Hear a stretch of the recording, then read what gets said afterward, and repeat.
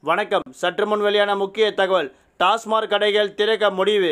சரக்கு வரியும் உயர்கிறது. இதை பற்றி தான் இப்போ நம்ம ப்ரீஃபாக பார்க்க போகிறோம் மறக்காமல் ஸ்கிப் பண்ணால் பாருங்கள் உங்களுக்கு ரேஷன் அட்டை பற்றி புதிய தகவல் தேவை அப்படின்னா கீழே இருக்க ரெக்க பட்டனை கிளிக் பண்ணி சப்ஸ்கிரைப் பண்ணிக்கோங்க. பக்கத்தில் இருக்க பெல் பட்டனை கிளிக் பண்ணிக்கோங்க.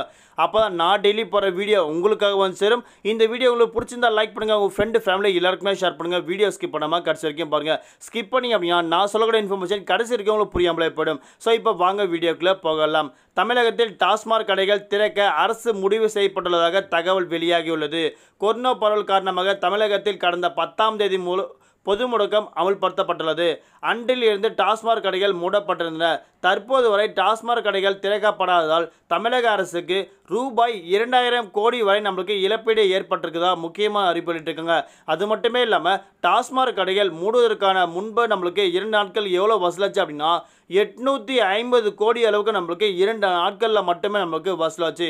ஆனால் இப்போ நம்மளுக்கு இரண்டாயிரம் கோடி அளவுக்கு நம்மளுக்கு இழப்பீடு நம்மளுக்கு ஏற்பட்டுருதா நம்மளோட தமிழக அரசு புதிய அறிவிப்பிட்டுருக்குங்க கொரோனா காரணமாக பொருளாதாரம் நெருக்கடியை சந்தித்து வரும் தமிழக அரசு முழு முடக்கத்திற்கு பிறகு மதுபானங்கள் விலையை நம்மளுக்கு உயர்த்த போகிறாங்க அதாவது மதுபானங்களோட அதோட வரியை வந்து நம்மளுக்கு ஏற்ற இருக்காங்க. மதுபானங்கள் விற்பனை செய்யும் அதோட அமௌண்ட்டு நம்மளுக்கு அதிகப்படுத்ததாக இருக்காங்க. இது எல்லாமே நம்மளுக்கு முக்கிய அறிவிப்பு இருக்குங்க.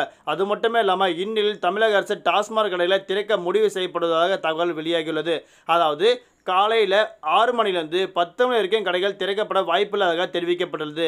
அது எல்லாமே முக்கியமான அறிவிப்பு இருக்குங்க காலைல ஆறு மணிலேருந்து பத்து மணி வரைக்கும் கடைகளை திறக்க போகிறதா இருக்காங்க. இது எல்லாமே நம்மளுக்கு நியூஸ் தரப்பில் வெளியிட்டிருக்காங்க. நிதி நெருக்கடியை சமாளிக்கும் பொருட்டு இது போன்ற முடிவை தமிழக அரசு ஏற்பட்டதாக நம்மளுக்கு கூறப்படுறாங்க அதாவது இந்த நெருக்கடியை நம்மளுக்கு ஈடுகட்டுன்ற பட்சத்துலாம் தமிழக அரசு பார்த்திங்கன்னா மதுபான கடைகள் நம்மளுக்கு திறக்கப்படுறதாக இருக்காங்க.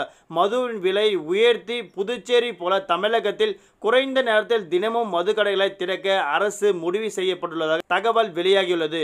அதே நேரத்தில் மதுபானங்கள் விலையை அளவுக்கு அதிகமாக உயர்த்தக்கூடாது என மது குடியர்கள் பார்த்தீங்கன்னா நம்மளுக்கு கோரிக்கை வச்சுட்ருக்காங்க. மதுபானங்கள் பார்த்தீங்கன்னா அளவுக்கு அதிகமாக அதோட அமௌண்ட்டை ஏற்றக்கூடாதுன்னு சொல்லிட்டு இருக்காங்க ஆனால் நம்மளோட தமிழக அரசு நிதி நெருக்கடி இருக்கிறதுனால கன்ஃபார்மாக அது ஏற்றதுல எந்த ஒரு மாற்றமும் கிடையாது. மீண்டும் மருத்துவர்களை சந்திப்போம். நன்றி. வணக்கம்.